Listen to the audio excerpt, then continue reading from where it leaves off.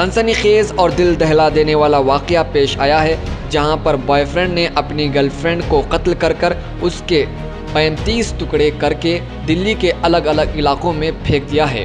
ये मामला पाँच माह बाद सामने आया है, जिसके बाद अब मुलजिम की गिरफ्तारी हुई है। और आफ्ताब ने अपनी माशुका का कत्ल करके इसके टुकड़े बनाए थे, जिसे वो अपने घर के फ्रिज में रखा था।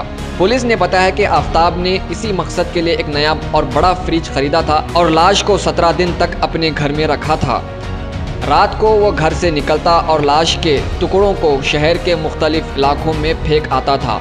पुलिस के मुताबिक अब तक 10 से 15 टुकड़े बरामद हुए हैं। इतलात के मुताबिक मुंबई में मल्टीनेशनल कंपनी के कॉल सेंटर में काम करने वाली शरदा को आफ्ताब शादी के बहाने दिल्ली लाया था, लेकिन वो गुजशत कई दिनों से गायब थे।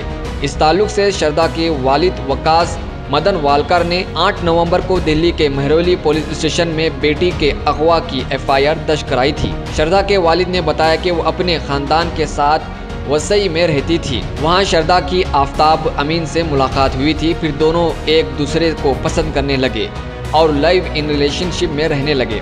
जब घर वालों को इस रिश्ते का इल्म हुआ तो इन्होंने सख्त एतराज़ किया, जिसकी वजह से वो दोनों फरार हो गए और दिल्ली के महरोली इलाके में रहने लगे। वसई की मांगपुर पुलिस स्टेशन की तफ्तीशी इंस्पेक्टर ने बताया कि दोनों ने शादी करने का फैसला किया था, लेकिन दोनों के मज़हब अलग होने की वजह से दोनों के वालिदेन नाराज़ थे। कुछ दिनों पहले दोनों मुंबई से हिमाचल प्रदेश चले गए थे और वहाँ से इन्होंने ऑनलाइन मुलाजिमत की दरख्वास्त की और मुलाजिमत मिलने के बाद से वो वहाँ से दिल्ली छतरपुर इलाके में आ गए और दिल्ली में एक कॉल सेंटर में काम करने लगे थे। दिल्ली के महरोली पुलिस स्टेशन के senior police inspector P C Yadav ने बताया है कि शरदा और आफ्ताब दोनों को एक दूसरे के किरदार पर शक था।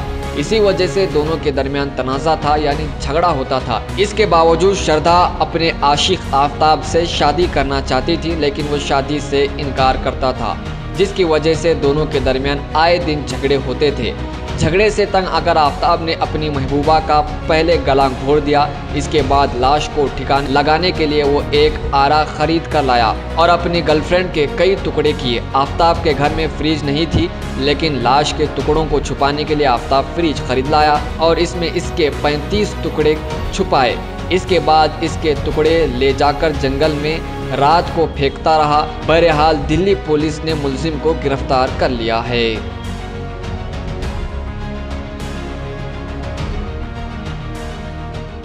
अगर आपने चैनल को सब्सक्राइब नहीं किया है तो ज़रूर सब्सक्राइब करें, बेल आइकन भी प्रेस करें, ताकि खबरें आप तक बर वक्त पहुँच सकें। मजीद अपडेट्स के लिए आप व्हाट्सएप ग्रुप भी ज्वाइन कर सकते हैं। लिंक डिस्क्रिप्शन में मौजूद है।